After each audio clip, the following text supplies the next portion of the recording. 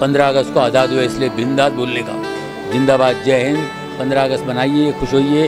और हमारे जितने भी हमारे हमारे नेता हैं, पुराने जो हमारे बुज़ुर्ग हैं, हमारे जितने भी शहीद नेता हैं, उन सब के लिए प्रार्थना कीजिए, उनकी आत्मा के लिए, जिनकी लड़ाई की वजह से हम आज़ाद हुए हैं। पंद्रह अगस्त, जिंदाबाद। भारत माता की जय।